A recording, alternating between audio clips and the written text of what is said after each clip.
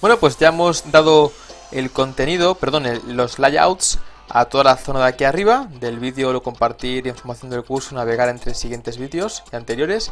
Y ahora tenemos que hacer lo mismo pero con la parte de aquí abajo, con el botón de suscribirse al canal, el texto, las imágenes que pudiera ver o no en la transcripción con capturas de pantalla, el formulario, de nuevo el botón de compartir y el índice del curso para navegar entre los diferentes vídeos del temario completo.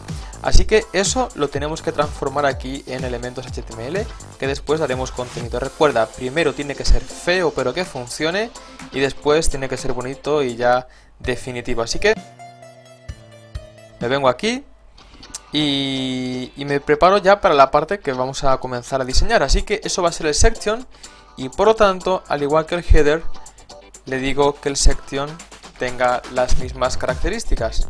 A ver, un momentito que voy a guardar aquí el cable. Vale.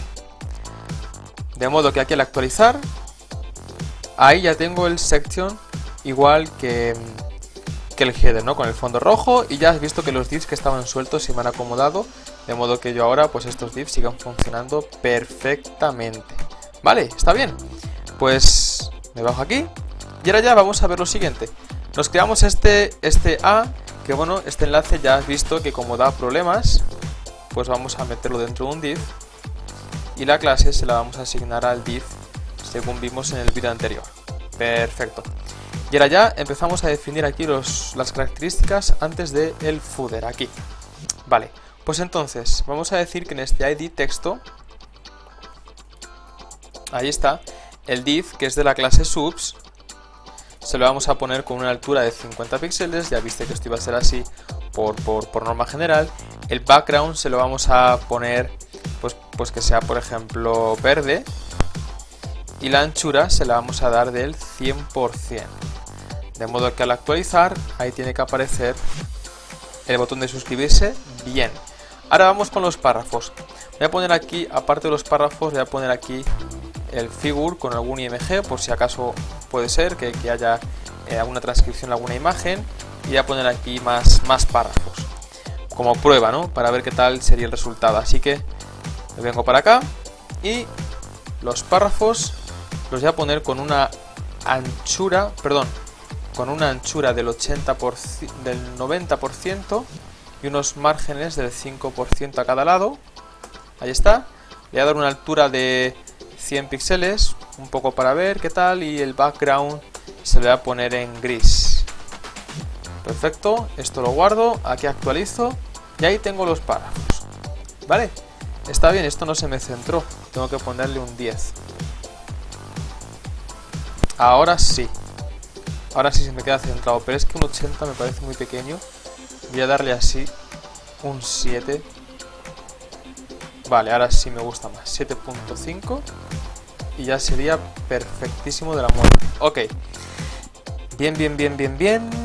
Eh, las imágenes. Las imágenes. Entonces, vamos a poner esto.